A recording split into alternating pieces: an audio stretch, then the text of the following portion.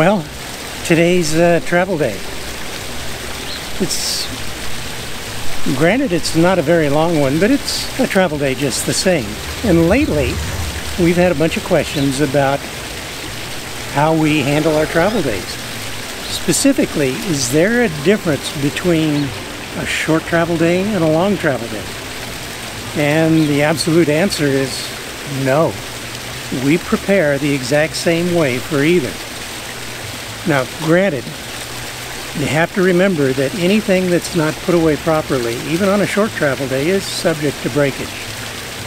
And on a short travel day, it's generally in an area that we're aware of, that we know.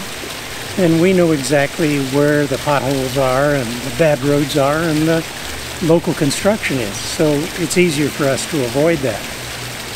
Not so much on a long travel day. On the longer days, we're dealing with really bad infrastructure. Roads that aren't kept up, uh, potholes that come out of nowhere, uh, chunks of tire or debris on the road, inattentive drivers. Too busy answering their cell phone to pay attention to driving on that freeway at 65, 70 miles an hour. We've got a lot of weight behind us when we're driving, and our stopping distance shows the difference. So yes and no, I guess might be the answer, but generally we still pack and prepare the exact same way. We don't want to take a chance.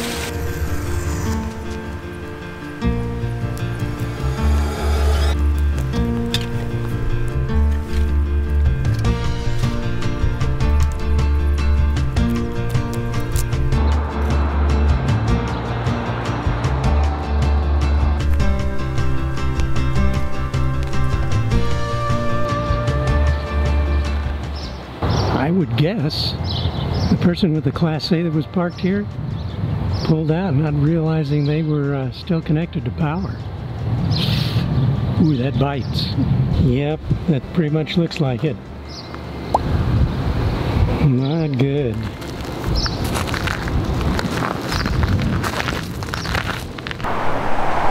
Good morning. Grizz and I are out on our morning walk. And the weather's beautiful. Just been super. The last week has been awesome, but it's gonna be 115 or 120 before too long. So we'll see how well we do.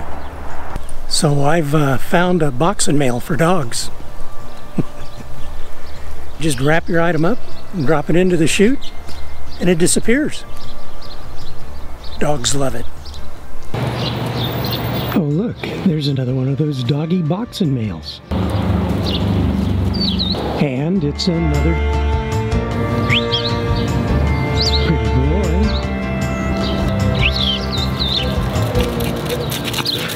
Good boy. You're so pretty. Some people are completely ready for just about anything. That's awesome. Boy, I'd love to learn how to surf. So it's been about a week since we've uh, done our last project. That was the roof vent fan. And I've pulled the garnish down to take a look at it just to make sure that nothing was uh, done to damage the roof by using acetone for a cleaner. And it looks like it's fine. Um, it's holding just perfectly. Wiring has been done right, so yeah, fantastic. Best part is, is it looks like a brand new rig. This is one of, they say, four dog parks at this particular location. And it's really not that bad.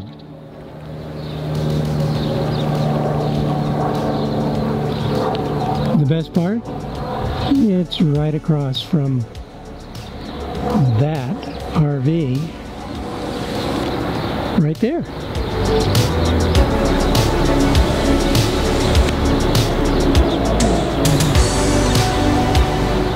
And the dumpsters are closed too.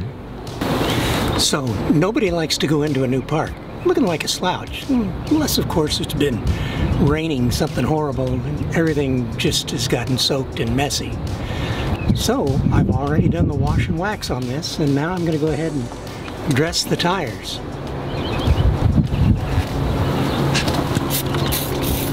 These are a little harder to get at, but you know what? Usually all I've got to do, because they're so well protected, is wipe down the rims from the splatter from the rain hitting the ground and knocking some dirt back up. All part of the life.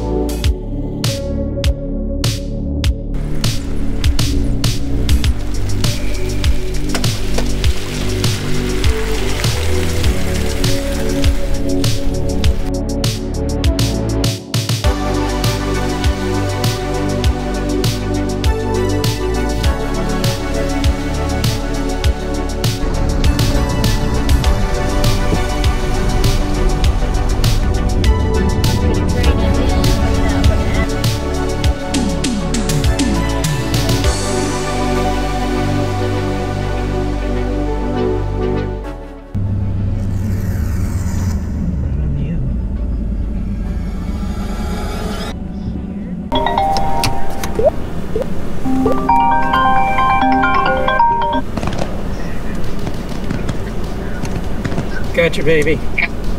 Okay.